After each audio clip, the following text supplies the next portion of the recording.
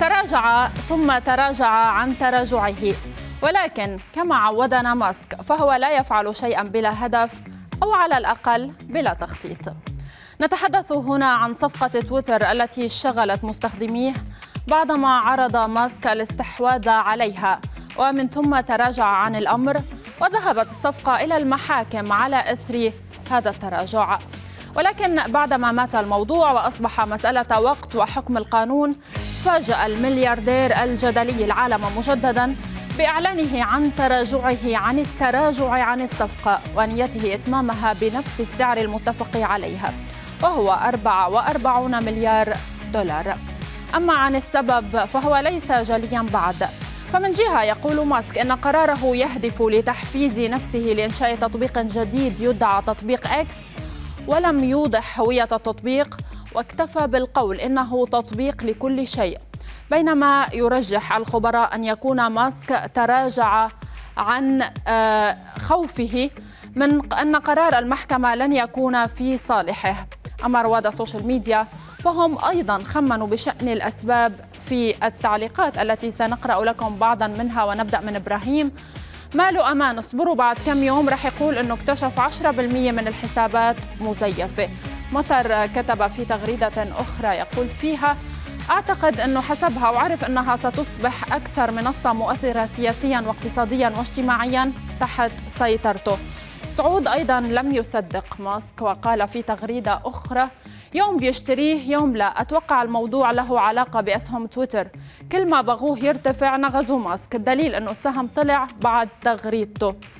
والآن ينضم إلينا من الكويت المستشار في أمن المعلومات والتحول الرقمي رولا أبي نجم. أهلا وسهلا فيك رولا.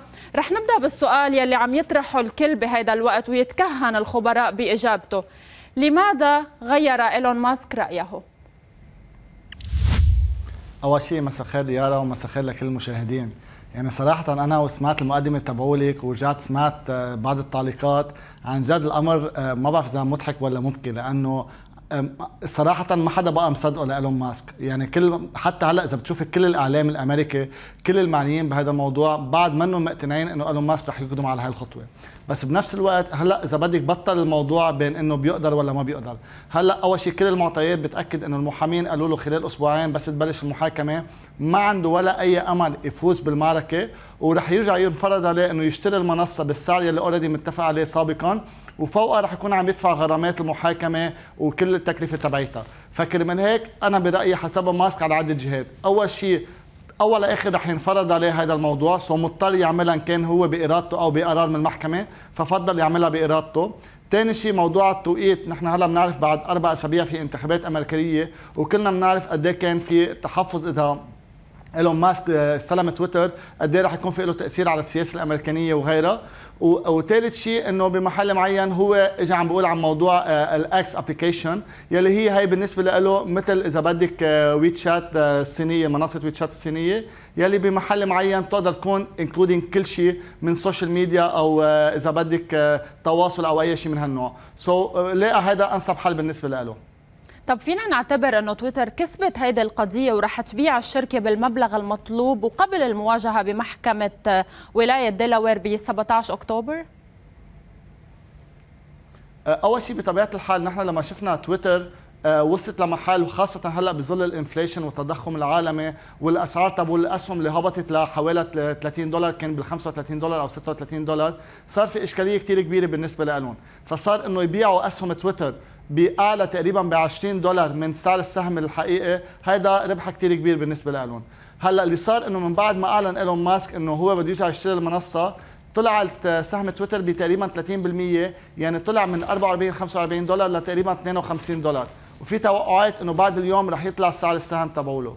فكرمال هيك هلأ إذا بنجي بنشوف بالنسبة لتويتر لو ما ما راح يشتري إيلون ماسك المنصة رح يكون في عندهم إشكالية كثير كبيرة إنه هن عم يتكبدوا خسائر هلأ بس كمان رح أعلن إيلون ماسك إنه رح يشتري المنصة على السهم السهم تبعوله فصار تقريبا بقيمة السهم يلي هو حاطه بده يشتري.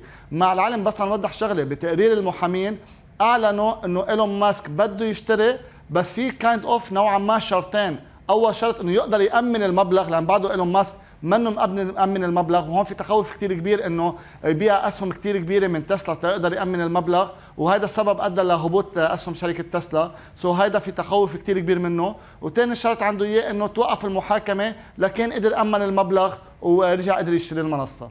طب ليه عم بيكون في تكتم شديد حول مضمون المفاوضات بين ماسك وتويتر؟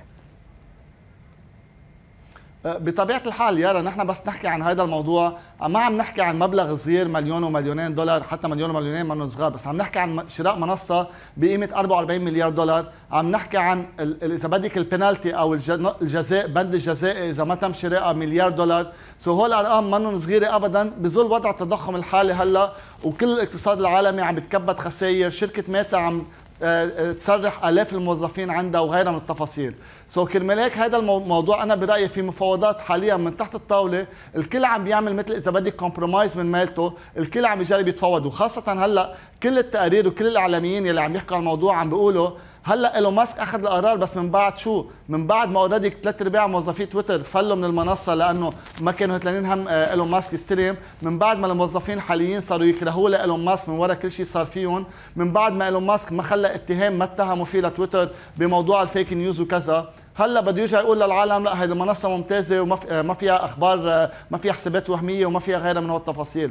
so so هلا الضرر بالنسبة لإلي already كبير على الطرفين وكل مالك إيلون ماسك أخذ القرار هلأ تخفف الضرر لأنه إذا بدنا نروح على المحاكمات رح تكمل الجهتين إذا بدك تضرب ببعضها. إيلون ماسك رح يضل يقول إنه تويتر في كثير حسابات وهمية وما له هالقيمة الفعلية وتويتر كمان رح يكونوا عم بيهاجموا إيلون ماسك. so أنا برأيي انعمل مثل تسوية وهلأ إيلون ماسك كل هدفه بده يشوف كيف رح يقدر يأمن المبلغ. طب هل يعزز استحواذ ماسك على تويتر المخاوف يلي ظهرت من قبل من قبل إعلان الاستحواذ يعني خاصة بما يتعلق بشق الحريات؟ أكيد يارا يعني هيدا السؤال هو هلأ يلي كل العالم عم تتداوله بس لأنه بعضهم مش كثير مقتنعين بعضهم شوي هيك مثل نقزانين يعني هلأ عم نشوف إعلاميين عم يدعوا العالم سكروا حساباتكم على تويتر وفلوا. لأنه الكل بيعرف إنه إيلون ماسك كل خبرية موضوع حرية التعبير وحريه العالم كل واحد يعبر مثل ما بده على تويتر. هيدي بس إذا بدك واجهه للحملة تبعيته. بس فعليا هو عنده أهداف سياسية أهداف اقتصادية بده يغير بشكل المنصة بده يغير بأهدافها.